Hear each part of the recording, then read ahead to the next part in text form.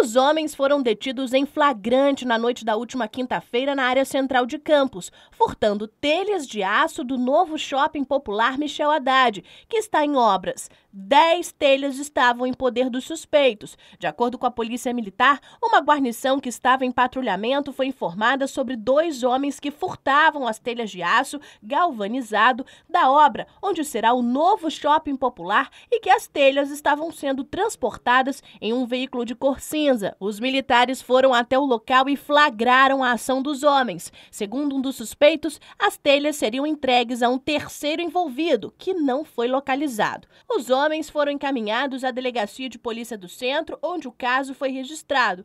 Todos foram autuados por furto e permanecem presos.